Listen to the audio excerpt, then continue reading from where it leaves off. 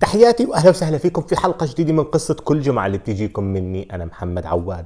حلقة اليوم عن هدف ربما كثير ناس بيشوفوا صورته بعد كل موسم في آخر تسع مواسم كل ما تتوج يوفنتوس بلقب الدوري. شو قصة هذه اللقطة؟ شو قصة هدف مونتاري؟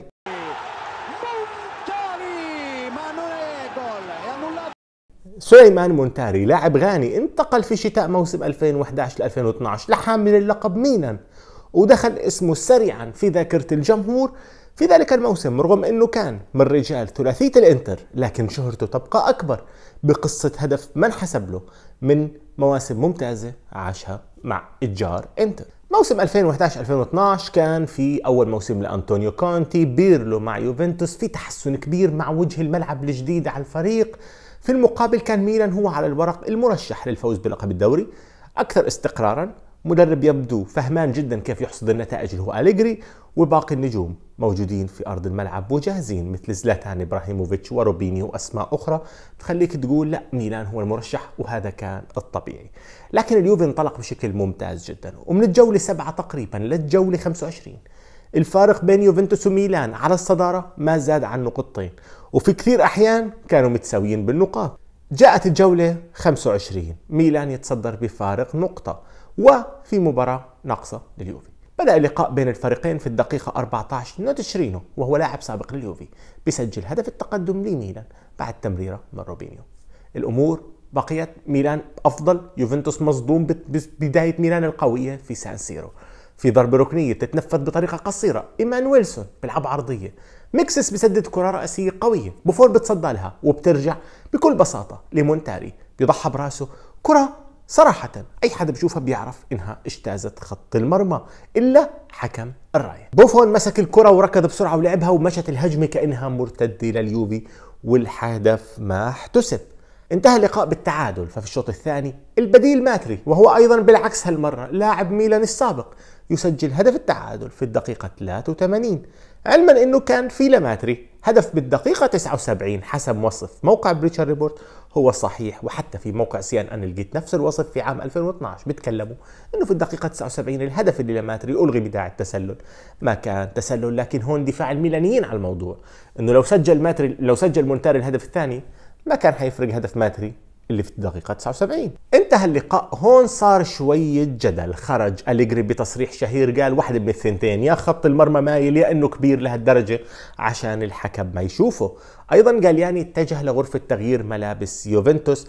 وهاجم كونتي فكونتي رد عليه قال له أهلا برجل المافيا. وبعدها طلع قالياني قال أنا حخلي هذا الجول على موبايلي عشان أذكر نفسي قديش اليوفي سرقنا. هذا الموسم. في المقابل سألوا بوفون قال لهم أنا لما أصد ما بتفرج وين خط المرمى أنا بتصدى ومش فارقة معي الكرة قطعت أو لا. ولو عرفت إن هالكرة قطعت خط المرمى مش حروح أقول للحكم احسب هدف علي.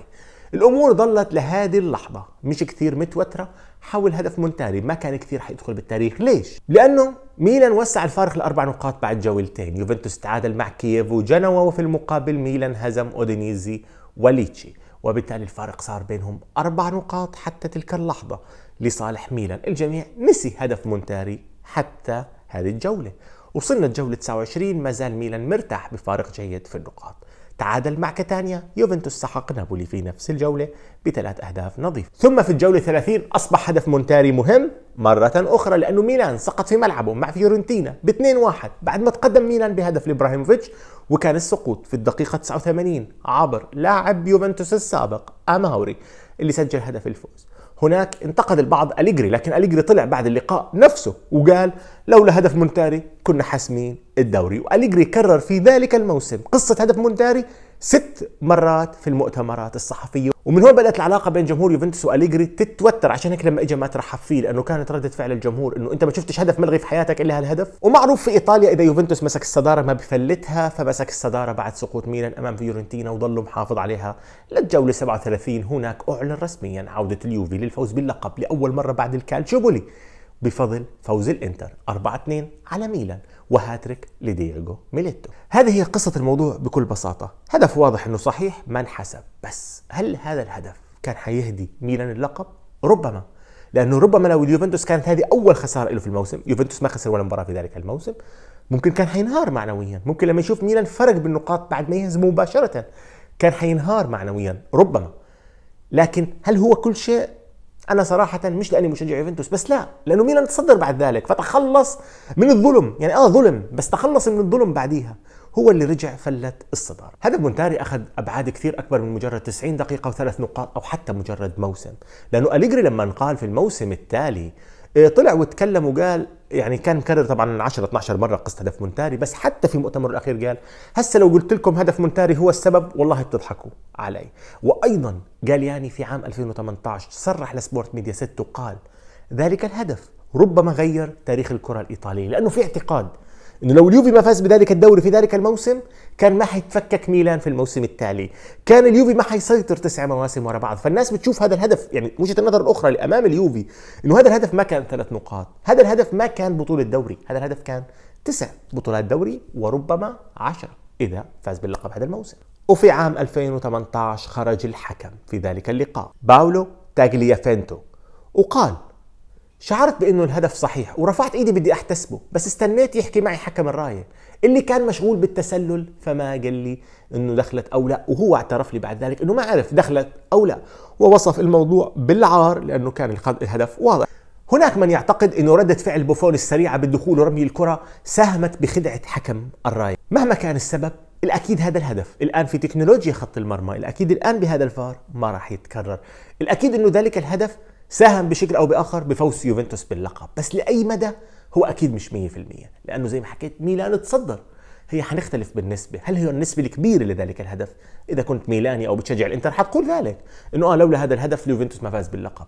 وإذا كنت مشجع مع اليوفي حيقول لك لا ممكن هذا الهدف ساهم معنا 20 30% والباقي الشاطر اللي تصدر وضيع صدارته. في جولتين ورا بعض ضيع خمس نقاط. مباراة سهلة مع كاتانيا ومباراة ثانية في ملعبه مع فيورنتينا.